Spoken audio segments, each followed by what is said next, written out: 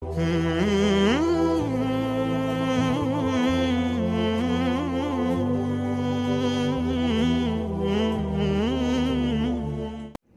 عليكم ورحمة الله وبركاته.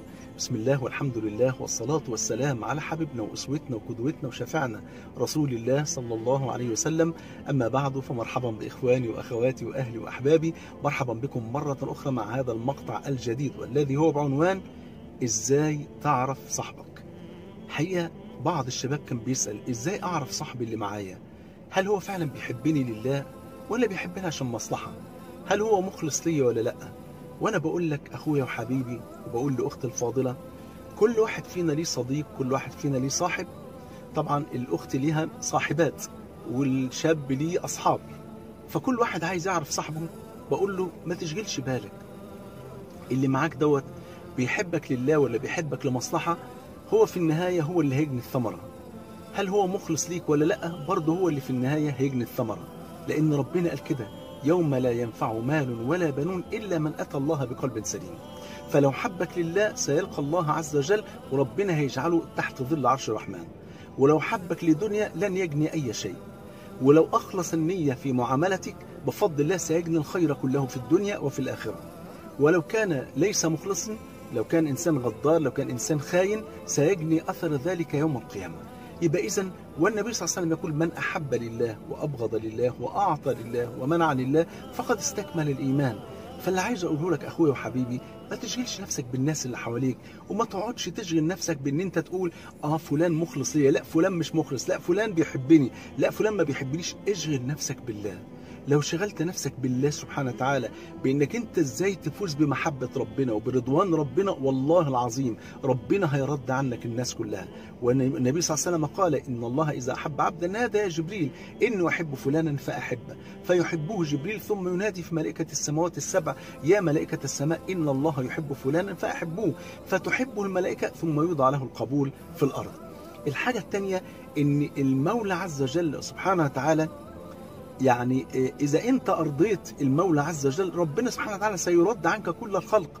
قال صلى الله عليه وسلم من أرضى الناس بسخط الله سخط الله عليه وأسخط عليه الناس. ومن أرضى الله بسخط الناس رضي الله عنه وأرضى عنه الناس. يبقى إذا اشغل نفسك بالله.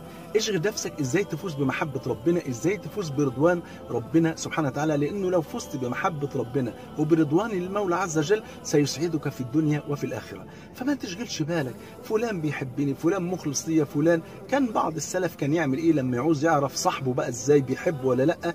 كان يغضبه يعمل معاه حاجة كده يقول له كلمة تزعله ثم يذهب إلى بيتي ويرسل له شخصا يسأله عنه.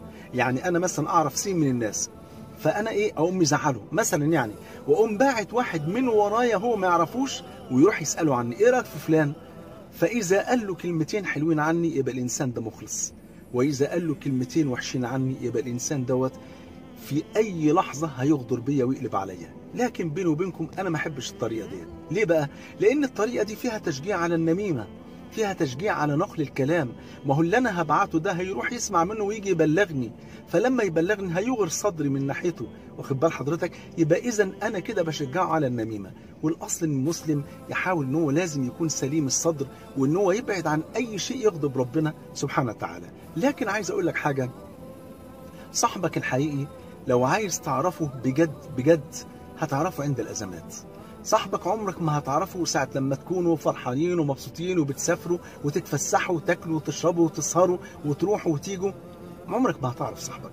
لكن يوم ما تقع في أزمة يوم ما يجي لك حزن معين يوم ما حد يموت لك يوم ما تفقد مالك يوم ما يحصل لك أي مشكلة هنا فقط هتعرف صاحبك. صاحبك الحقيقي هيقف جنبك وصاحبك المزيف هيبعد عنك. زي ما إحنا بنشوف في حياتنا العادية إن الإنسان طول ما هو ما شاء الله ماديا كويس جدا وحياته ما شاء الله. ويعني والناس بتحبك وليك منصبك و الدنيا كلها حواليك. وأول ما تفقد حاجة الدنيا كلها بتنفض من حواليك إلا من رحم الله سبحانه وتعالى. هنا بقى تعرف صاحبك. لكن عايز أقول لك حاجة. أنت لما تلاقي حد بالمنظر ده صدقني ما تزعلش منه. اللي زي ده تزعل عليه. تزعل عليه وتقول الحمد لله الذي عافانا مما ابتلاهم به. لما تلاقي حد فجأة كده وبلا مقدمات بيغدر بيك بيقلب عليك من غير سبب أو بيصدق عنك أي كلمة وحشة ده مش صاحبك ولا يمكن يكون صاحبك. والإنسان اللي في لحظة لو واحد قال له كلمة عليك ما حصلتش يطلع إشاعة عليك فيصدقها ويروجها ده لا يمكن يكون صاحبك. واللي يوم ما تقع في أزمة وعمره ما يقف جنبك ده لا يمكن يكون صاحبك.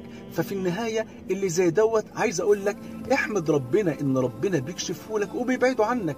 وفي نفس الوقت احمد ربنا إن ربنا عافاك مما ابتلاه به. وفي نفس الوقت اوعى تدعي عليه بل ادعي له بالهداية لأن إحنا لن نستفيد أي شيء من آه، يعني تعذيب الناس أو من هلاك الناس. أو من إيذاء الناس بل نتمنى النعيم في الدنيا وفي الآخرة لكل مسلم على وجه الأرض. عشان كده بقول لك إزاي تعرف صاحبك؟ تعرفه عند المحنة. تعرفه عند البلاء. تعرفه لما يحصل لك ظرف معين.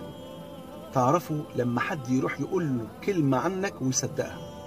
تعرفه لما يسمع إشاعة عنك وتكون كاذبة ويروجها أو يصدقها. تعرفه لما يقلب عليك بلا أسباب ويغدر بيك من غير سبب. هنا تعرف صاحبك. لكن صدقني زي ما قلت لك يوم ما تعرف صاحبك وتلاقيه بالمنظر ده ادعي له إن ربنا يهديه وادعي له إن ربنا يطهر قلبه وادعي له إن ربنا يعني يكتب له النجاة مما هو فيه عشان في النهاية إحنا لن نتحمل أن نرى مسلما في النار أو أن نرى مسلما يعذب لا في الدنيا ولا في الآخرة. بحبكم في الله والسلام عليكم ورحمة الله وبركاته. لو عجبك الفيديو ما تنساش تدوس like أو إعجاب ودوس على كلمة الاشتراك أو subscribe عشان تشترك معانا في القناة وتدعمنا. وكمان ما تنساش تفعل علامة الجرس علشان كل ما نعمل فيديو جديد يوصلك تنويه. وطبعا هتعمل شير لأصحابك عشان يست...